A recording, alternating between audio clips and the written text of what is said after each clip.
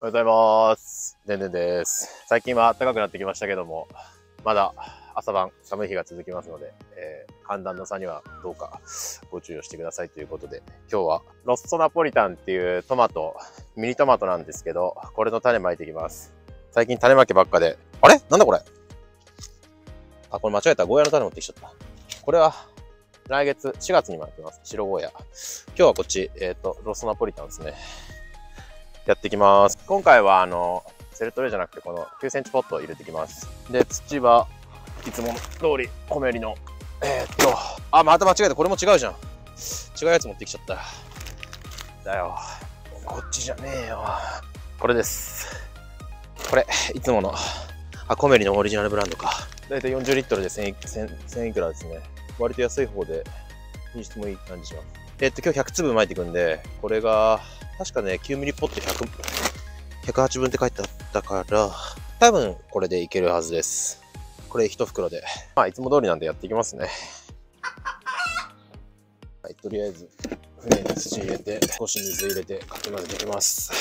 ロッソナポリタンって、なんかミニトマトのソバージュ栽培とかって言って、ソバージュってなんなんだっけな？公認？違うかわ、ソバージュなんだっけどういう意味だっけな。まあとにかくなんかそのあんまり手入れをしないで、葉書きとかもそういう手入れも全然せずに、バーっと生い茂らせて、ここからたくさん取りましょうみたいな、いうソバージュ栽培っていうのができる品種が割と最近あるみたいで、まあその中で割とメジャーなロッソナポリタンっていうのを選びました。苗買っちゃってもよかったんですけど、金ないんで種買いました。結構今育苗してるのもたくさんあって、カリフラワーが2000、で、ブロッコリーが5000、で、サニーレタスが1万、あと、トウモロコシが4000が今あります。で、これか。で、このミニトマト100。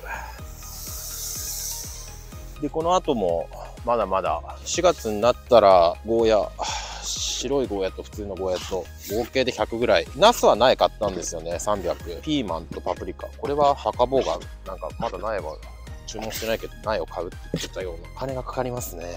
で、このトマトも、キュウリシチューっていうんですかね、あの、アーチのやつやるんですけど、今計算、ざっくり計算した感じ、そのアーチ買うのに7万円ぐらいかかっちゃうんで、まあ、苗がうまくできたら、買おうかなと思ってます。よし。よし。じゃあ、あとは、もう詰めて、とりあえず詰めていきます。土。よし。とりあえず100発。詰めて。で、調べたところによると、上から1センチくらい開けるって書いてあったんで、まあ1センチ開けて。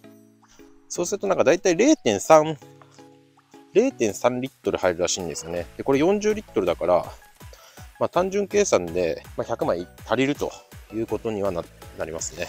で、ここに並べていきます。ひとまず。結構最近農業系の動画ばっかり上げ上げてるんですけど、本当は DIY の動画とかもたくさん上げたいんですよね。でもあんまりやってないんですけどね、DIY 自体、あの、オフィス完成してからほとんど手つけてなくて、本当はもっといろいろやりたいんですけど、トッソナポリタンじゃねえや、そのミニトマトのソバージュ栽培は、あの、YouTube でよく投稿してるあの、旬農園さんっていう、結構若めの農家さんが、結構さいつも参考にさせてもらってるんですけど、その人がすごいいいよっていうか、こんなたくさん取れたみたいな。動画を上げて上げてて、それ見てすごいいいなと思いました。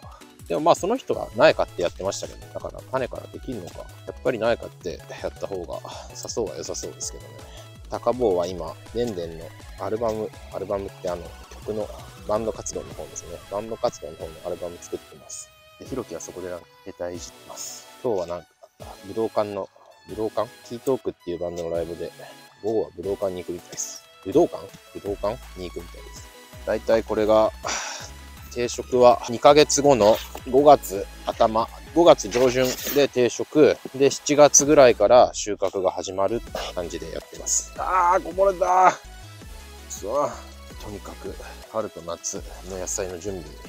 春春はもうでも遅いか。まあ、夏野菜の準備に乗り遅れないように今、必死でやってます。じゃあ、ヒロこれやっといて。ちょっと俺種まくから。ちょっとバトンタッチ。土入れは。じゃあ俺はここで、種、よいしょじゃあこれ種入れてき種まいてきます。まあ、うまくいくかわかんないですけど、一粒ずつもう入れてきます。あ、そうだ。これ一応、えっ、と、ここの辺は一般地。一般地の露地栽培。3月の頭からハッシュ。ここですね。3月の頭からハッシュ。で、定食が5月の頭。で、7月の頭から10月、まあ一応これだと10月の末まで、10月いっぱい取れるってなってるんですけど、台風次第ですね。あの、アーチ作って本当にトンネルみたいになって、うわーってあの、木のトンネルみたいな、草のトンネル？なんだ？なってるんで、台風来たら多分ほぼほぼ潰れちゃうっていう風な話です。だ台風が来るまでなんとか頑張ってほしいっていう感じですね。ああ、よかった。小袋に入ってた。ええー、これ？普通にただのあれじゃん。種じゃん、トマト。これ、ほんとだよ。あのミニトマトにさ、トマトの中に入ってる。これだね。これでいくらだ ?5000、5800円ぐらいだったかな。これっきだよ。まあ、しょうがねえよな。しょうがねえっていうか、これ待って、でも一瞬でマジで、速攻でなくなるぞ。だいたい1センチ。1粒50円ぐらいか。まあでも苗、でもどうなんだろう。苗買ったら1個ね、400円。8倍か。え ?400 円？買っちゃってもよかったな。100本買って4万円か。じゃあ1粒ずつ落としていきまーす。これだって落としたらもう終わりじゃん。1、2、これ。よし。種まき自体は速攻終わっちゃうな。まあ100個やって、正直、70株？苗がうまく70できれば正直大満足。3月はサラダ菜、パクチーとほうれん草が収穫できそうです。ギリ。結構入ってんな。130ぐらい入ってる気がするの。まあでもそしたらいいよ。あの、同じポットに入れちゃう。そんで後で間引く。あとちょっと様子見て2粒ずつ入れていくわ。4つ余りでしょ。3つ？それじゃカインズ99個しか入ってねえじゃん。100入りだよ。おこれは闇だ。おい。105個だ。105個入ってました。もうちょっと入ってもよかった。確かに。120ぐらいは入ってもよかったよね。ケチだね。ケチってるね。よし、オッケー。じゃあ、あと覆土して、えー、っと、覆土してトンネル入れて不織布かけて水入れて終わり。あ猫がいる、猫。お、おっぱら広き。どこどこ？そこそこ。はいはい。はい。猫がマジで育秒このトンネルの中入入って、苗潰すんですよ。死活問題なんです。これ本当に、カリフラワーは多分500、500から潰されたんですよね。よし。はい。じゃあこんな感じです。なんかこのソバージュ栽培のトマトって生食はあんまりうまくないけど、このロストナポリタンは、まあ生でもいける。うん。ケチねもう。よし、オッケー